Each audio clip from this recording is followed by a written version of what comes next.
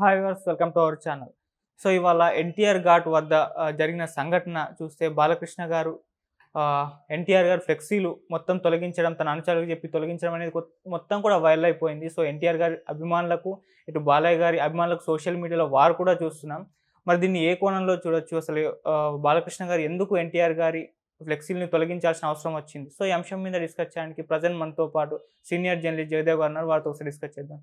Sir నమస్కారం sir. నమస్తే sir మరి ఆ వీడియో ఒకటి వైరల్ అవుతుంది. ఆ బాలకృష్ణ గారు తన అనుచరులకు చెప్పి ఆ ఫ్లెక్సీలన్నింటినీ కూడా అక్కడ నుంచి తీసేయడం చూస్తున్నాం. సో మరి దీన్ని అంటే ఏ కోణంలో అర్థం చేసుకోవచ్చు అంటారు సార్? ఏ కోణంలో అంటే ఫస్ట్ థింగ్ నేను కూడా చూసాను ఆ వీడియో.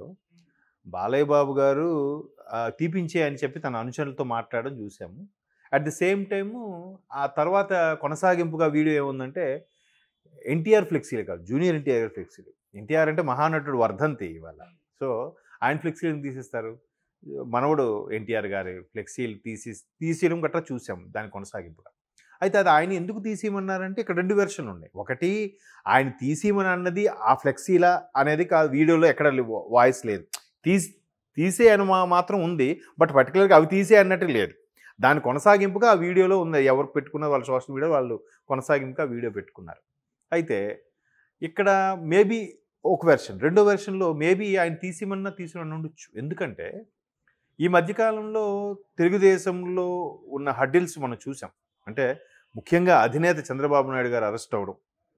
అరెస్ట్ అయిన తర్వాత ఎంత దుమారం రేగిందంటే అంటే ఒక విధంగా ప్లస్ అయింది మైనస్ అయింది. మైనస్ ఏంటంటే అతనికి అరెస్ట్ చేయడం వరకు ఓకే కానీ అరెస్ట్ చేసే విధానం కరెక్ట్ కాదని ప్రతి ఒక్కరూ జాతికి జాతులకు కానీ పార్టీలకు కానీ రాష్ట్రాలకు అతీతంగా అందరూ కూడా ఖండించారు.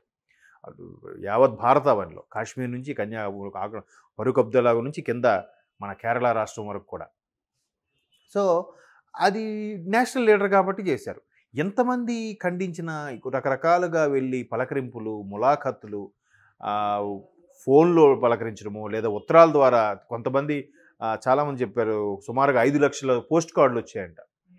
రికార్డ్ అది ఆయన సానుభూతి తెలుపుతూ రాజమండ్రి సెంట్రల్ జైలుకి వచ్చాయనుకో అది కూడా ఐదు లక్షలు కాదు పన్నెండు లక్షలు ఎంతో సంథింగ్ ఇలా రకరకాల కథనాలు వార్తల్లో వైరల్ అయ్యే చూసాము ఎన్ని జరుగుతున్నా కూడా ఎక్కడ కూడా ఎన్టీఆర్ గారు ఎస్పెషల్లీ కళ్యాణ్ రామ్ గారు అంటే వీళ్ళిద్దరి గురించి ఎందుకు మాట్లాడుకోవాలంటే వీళ్ళిద్దరూ ఇండస్ట్రీలో మంచి హీరోలుగా ఉన్నారు కాబట్టి ఇద్దరు స్టార్సే కాబట్టి వీళ్ళిద్దరూ ఎక్కడా స్పందించలేదు. మిగతా అందరూ అందరూ అన్నదమ్ములు అక్కజెల్లెళ్ళు ఈవెన్ పురంధేశ్వరి లాంటి వాళ్ళు కూడా మీడియా ముఖంగానే ఎక్కడో ఖండించడము మాట్లాడడం గట్రా జరిగేది. ఎందుకంటే వేరు వేరు పార్టీలు అయినప్పుడు కూడా అంతా కుటుంబం అని చెప్పే ఉద్దేశంలో. బట్ ఇక్కడ వీళ్ళు ఎక్కడ స్పందించకపోయేసరికి ఏం పొరపచ్చాలు వచ్చాయో ఏం జరిగిందో అనేది కూడా ఒక ఒక సామాన్యుడికి ఒక సందేహం అయితే ఉంది. అయితే ఇది ఇక్కడ స్టార్ట్ అయింది కాదు ఇది. వైసీపీ ప్రభుత్వం రెండు వేల పంతొమ్మిది వచ్చిన తర్వాత గుడివాడ సరౌండింగ్స్లో కృష్ణా జిల్లాలో పర్టికులర్గా కొడాల నాన్నగారు కటౌట్లు కొడాల నాన్నగారు హోర్డింగ్స్ ఎక్కడ పెట్టినా కూడా పార్టీకి సంబంధించి వైసీపీకి సంబంధించి. ఆ ఫోటోల్లో హరికృష్ణ గారి ఫోటో ఎన్టీఆర్ గారి ఫోటో కూడా వాడుకోవడం కొడాల నాన్నగారికి అలవాటు ఇష్టమే మేబీ. ఎందుకంటే ఆ, కొడాల నాన్నగారికి టీడీపీలో ఒక స్థానం కల్పించింది టీడీపీ ద్వారా టికెట్ ఇప్పించింది హరికృష్ణ గారు సిఫార్సు చేయడం వల్లే వచ్చిందని కూడా చాలామంది చెప్పుకుంటుంటారు. And moreover NTR garu కూడా జూనియర్ ఎన్టీఆర్ గారు కూడా చాలా సందర్భాల్లో ఆయన స్కూల్ డేస్లో కానీ కాలేజ్ డేస్లో కానీ స్కూల్ డేస్ కాలేజ్ డేస్ పెద్దగా చదివినట్లేదు. ఎక్కువగా ఆయన ఎక్కడ ఇదేంటిది సమ్మర్ హాలిడేస్ అలాంటి వెకేషన్స్ ఉన్నప్పుడు కొడాల నాన్నగారు ఎక్కువగా సపోర్ట్ చేసేవారు ఆయన తీసుకెళ్ళి తిప్పేవారు అన్నట్టు కూడా ఆయన ఎన్టీఆర్ గారు చాలా సందర్భాలు చెప్పారు. నాకు నాని అన్న బాగా క్లోజు నాని అంటే బాగా ఇష్టం అన్నట్టు కూడా చెప్పారు. సో ఆ చనువుతో ఆయన వేసుకుని ఉండొచ్చు. అయితే ఇదే వేసుకున్న ఆ ఫోటోలు వేసుకున్నప్పుడు ప్రింట్ చేసినప్పుడు ఆ సందర్భంలో బాలకృష్ణ గారికి మీడియా మిత్రులు కొంతమంది అడిగారు. ఇట్లా ఎన్టీఆర్ గారు పోస్టులు కూడా వాడుకుంటున్నారు వైసీపీ వాళ్ళు. దీనిపై మీ అభిప్రాయం అంటే అది ఖచ్చితంగా మీరు అడగాల్సింది జూనియర్ జూనియర్ బాబుకి. లేదా దీనిపై ఇలా వేశారు కాబట్టి ఖండించాల్సింది కూడా జూనియర్ ఎన్టీఆర్. సో నాకు సంబంధం లేదు మీరు ఆయన్ని అడగాలని అన్నప్పుడు కూడా ఎన్టీఆర్ గారు ఎక్కడ స్పందించలేదు ఖండించలేదు. దాని ఎందుకులో ఆయన ఏదో వేసుకున్నాడని ఆయన ఆయన వెర్షన్ ఏంటి? నాకు ఒక ఫ్రెండ్గా మంచి ఒక ఆప్తమిత్రుడుగా అన్నగా ఒక బంధువుగా ఏదో సంథింగ్ చిన్నప్పటి నుంచి ఒక గార్డియన్ లాగా చూసిన వ్యక్తి కాబట్టి వేసుకున్నాడని ఎన్టీఆర్ వెర్షన్ బట్ మిత్రుల ఈ మీడియా మిత్రులు అడిగేసరికి కానీ స్పందించాల్సిన ఎన్టీఆర్ కదా అని చెప్పి బాలకృష్ణ గారి వెర్షన్ బట్ ఎన్టీఆర్ స్పందించలేదు. ఇక్కడ బాలకృష్ణ గారు ఇలా స్టేట్మెంట్ ఇచ్చా కూడా ఏమనలేదు. సో అదొక ఫీలింగ్ ఉంటే ఉండొచ్చు మొన్న అరెస్ట్ అయిన తర్వాత కూడా ఎక్కడ చంద్రబాబు గారిది ఎంత కుదిపేసినా కూడా ఎక్కడ ఎన్టీఆర్ గారు కానీ లక్ష్మీ కళ్యాణ్ రామ్ గారు కూడా స్పందించలేదు. అండ్ మోర్ ఓవర్ రీసెంట్గా కళ్యాణ్ రామ్ గారి సినిమా ఒకటి వచ్చింది డెవిల్ అని. మంచి సినిమా మీరు చూసారో లేదో. సినిమా కూడా మంచి కాన్సెప్ట్ బాగా తీశారు కూడా. ఆయన కళ్యాణ్ రామ్ గారి పెర్ఫార్మెన్స్ కూడా చాలా బాగుంది. బట్ హిట్ టాక్ వచ్చింది కానీ ఆడలే ఎక్కడ ఎక్కువగా. దానికి ఇంపాక్ట్ ఏంటంటే కళ్యాణ్ రామ్ గారు ఆ మోషన్ పోస్టర్ ఈవెంటో లేదంటే preview event something pre release ఈవెంట్లోనో మాట్లాడినప్పుడు మీడియా మిత్రులు అడిగిన ప్రశ్నకి ఇక పార్టీలోకి చొరవగా వస్తారా రారా అని అడిగినప్పుడు తమ్ముడు బిజియెస్ట్ స్టారు ఒకసారి తమ్ముడు కనుక్కొని చెప్తాననే ఉద్దేశంలో చెప్పాడు ఆయన. ఆయన వేరే ఉద్దేశం కూడా కాదు. ఎందుకంటే ఆల్రెడీ వరుసగా దేవర వన్ దేవర టూ ఉంది తర్వాత వార్ టూ ఒకటి ఉంది హిందీ బాలీవుడ్ సినిమా. ప్రశాంత్ నీల్తో ప్రశాంత్ నీల్ ప్రాజెక్ట్ ఒకటి ఆల్రెడీ ప్రీ ప్రొడక్షన్ వర్క్ అవుతుంది. అది కాక ఇంకా ఆ, బుచ్చిబాబుది ఏదో ఒకటి ఒకటి ఉందంట. వరుసగా సినిమాల మీద సినిమాలు వస్తూనే ఉన్నాయి. సో ఇంత ఇది ఆల్రెడీ ఆయన ఒక రాబోయే పదేళ్ళ వరకు కాల్ షీట్లు బిజీగా ఉండేంత సూపర్ స్టార్ ఆయన. మరి ఇప్పుడు పార్టీకి వచ్చి ఎప్పుడు న్యాయం చేయగలుగుతాడు? రేపు పొద్దున ఎలక్షన్స్ క్యాన్వాసింగ్ తిరగాలి. ఒక ఊరు వెళ్ళి ఒక ఊరు వెళ్ళిపోతే అరే మా ఊరు ఎన్టీఆర్ రాలేదురా. అంటే మా ఊరంటే ఎలాగైనా గెలిచేస్తామని రాలేదా? అని చెప్పి ఓటర్లో వ్యతిరేక భావం వస్తుంది ఉద్దేశం అన్నిటికీ కాన్సన్ట్రేట్ చేయలేడు. ఆల్రెడీ కాల్ షీట్లు సైన్ చేసి ఉంటాడు. ఆయన వెర్షన్ అయింది. బట్ ఈ దీన్ని మీడియాకు వచ్చేసరికి సోషల్ మీడియాలో ఎట్లా వైరల్ అయిపోయిందంటే పార్టీతో సంబంధం లేదు. తాతగారు మరోవైపు వైసీపీ వాళ్ళు వైసీపీ వాళ్ళు అగ్గి మీద ఆద్యం పోసినట్టుగా ఇది ఎన్టీఆర్ గారు పార్టీ ఎన్టీఆర్ గారు అసలైన మానవుడు ఎన్టీ జూనియర్ ఎన్టీఆర్ఏ కానీ లోకేష్ కాడు ఇలాగ ఊరికి రెచ్చగొట్టేలాగా అనడం. ఏదైతేనేమో వాళ్ళు ఎక్కడ స్పందించలేదు. ఎన్టీఆర్ కానీ కళ్యాణ్ రామ్ గారు కానీ స్పందించకపోవడం అది కాస్త చినికి చినికి గాలివాన్ అయినట్టుంది. మేబీ అవన్నీ మనసులో పెట్టుకొని బాలకృష్ణ గారు తీపిచ్చిమన్నారో లేదా పర్టికులర్గా అవే తీపిచ్చిమన్నారో అయితే నాకు తెలియదు నేనైతే చూశాను ఆ వీడియో. తీపి తీపించి అని మాట విన్నాను.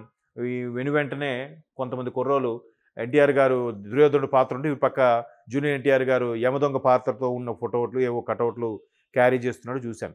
మేబీ ఫిక్స్ చేయడానికి తీసుకెళ్తున్నారో బయటపడేయడానికి తీసుకెళ్తున్నారో అయితే పూర్తి స్థాయిలో నేను చూడలేదు.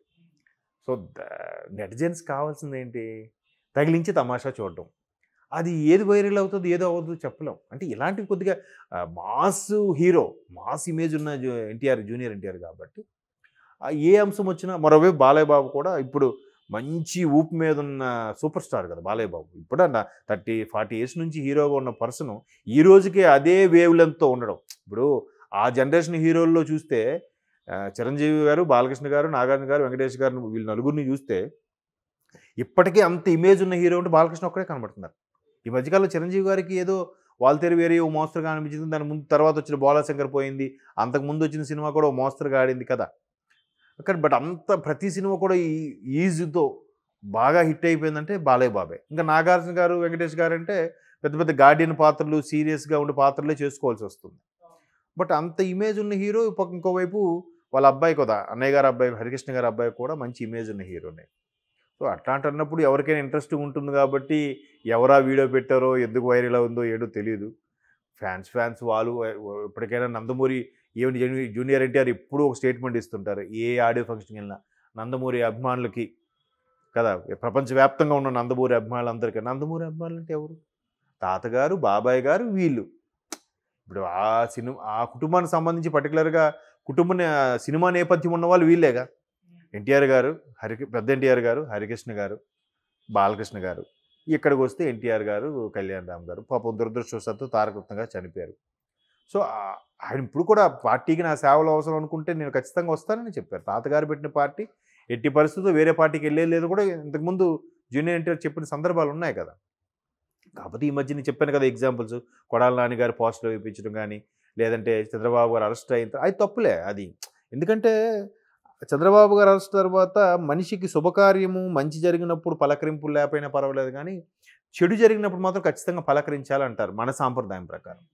సో పలకరించలేదు కనీసం ఫోన్లో కూడా మాట్లాడలేదు అనే వార్తలు అయితే బయటకు వచ్చాయి. మేబీ దానివల్ల కూడా అయి ఉండొచ్చు కొంత గ్యాప్ మెయింటైన్ గ్యాప్ వచ్చిందేమో గ్యాప్ ఇవ్వలే వచ్చింది. సో అందువల్ల బాలయ్య బాబు గారు కూడా కొద్దిగా మనస్తాపంతో అలాగ అని ఉండొచ్చు.